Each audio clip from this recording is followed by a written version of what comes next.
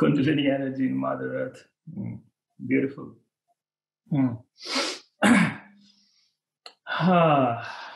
Kundalini.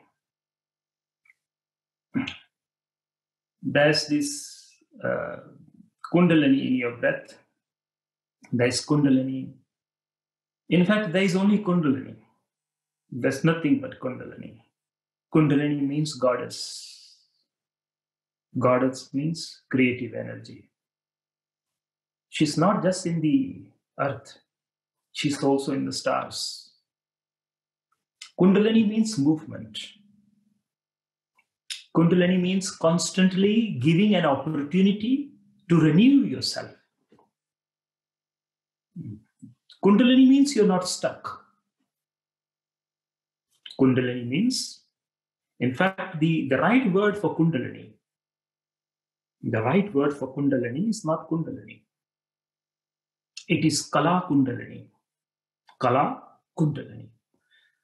Uh, let me just dive into this.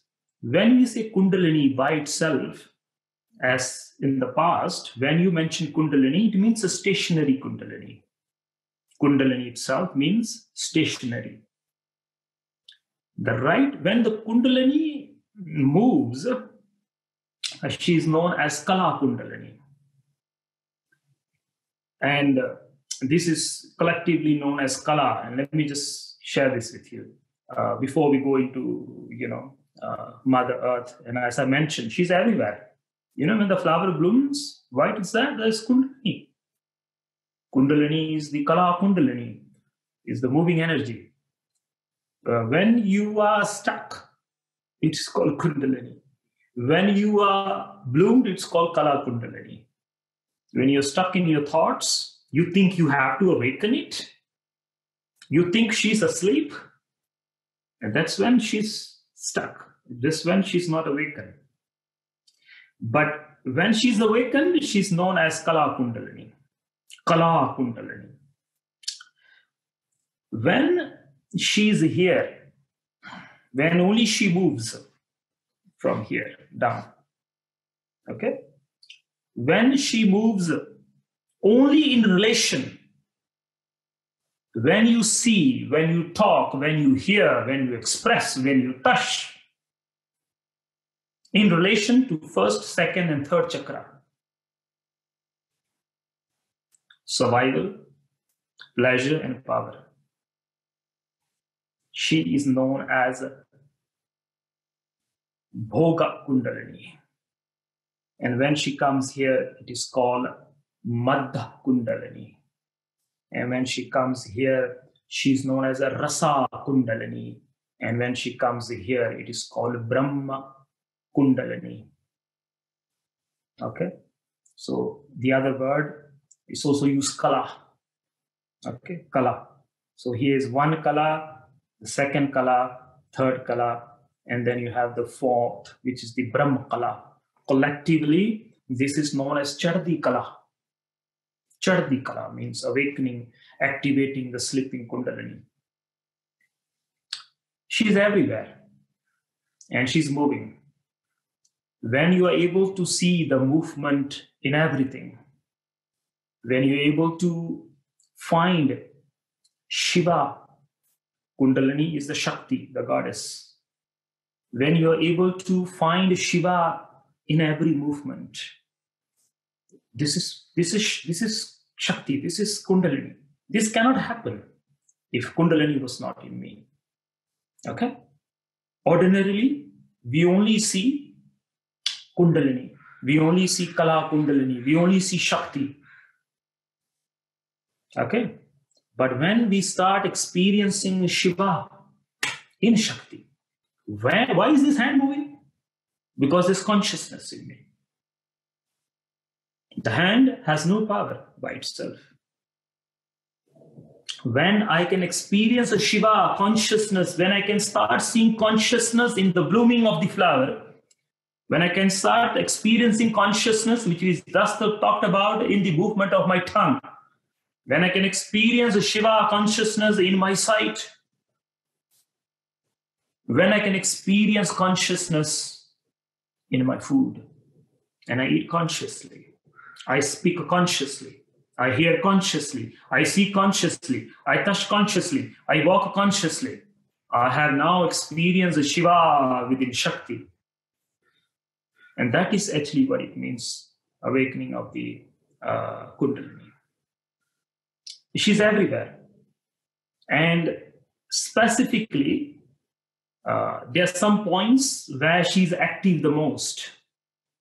And according to the sages of the past, it is the whole Himalayan range.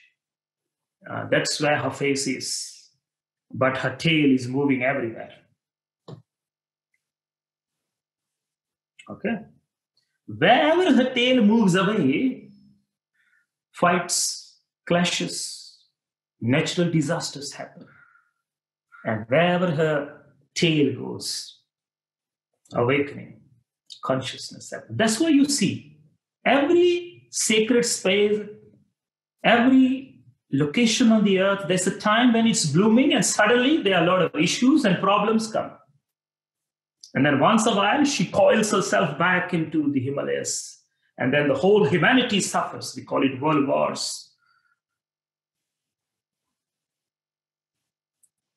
She's everywhere. Like just like this is everywhere. But then there are specific points in the body where she can be experienced more. You can, I'm just I'm just saying she's everywhere, yet I'm saying she's in specific point because this she's Kundalini, she's the goddess. You cannot define her in a special location. At the same time, you cannot say she's everywhere. And there's a contradiction in both my sentences, and that's how you can explain Kundalini. You cannot say she's like that. Then what is this then? If Kundalini is this, then what is this? So she's everywhere in the blinking of my eye, to the pumping of my heart, to the movement of my tongue, to the blooming of the flower, to the wave of the oceans. She's everywhere. There's no specific location, but yet I'm going to contradict myself, contradict myself. They say her head, her crown is in the mighty Himalayas. Only Himalayas can carry her crown. And she's so vast, she's so deep. She's the ultimate. And she's also known as Bhagavati, Pratham Bhagavati. That's the name. Her head, her crown, her face rests. Only the Himalayas can carry her weight. And then she moves her tail. And maybe sometime back, her tail was in US and now her tail has moved away. A lot of problems coming. And then in China. And then she coiled herself for some time. I think she's still more or less coiled. And when we collectively invoke her, by chanting. The creative force, that's what I'm talking about. Pratham Bhagavati Simrata, the creative energy, Adi Shakti. That's what she is. And we, we invoke her, everybody invoke her by becoming conscious, by bringing purity to your tongue, by bringing purity to your eyes, becoming conscious of what you eat, not killing innocent lives for this. Mm. When you invoke devotion, when you have reverence, it's called bhakti yoga. When you can touch the trees without your story, just touching the trees as they are, know that you are invoking the goddess.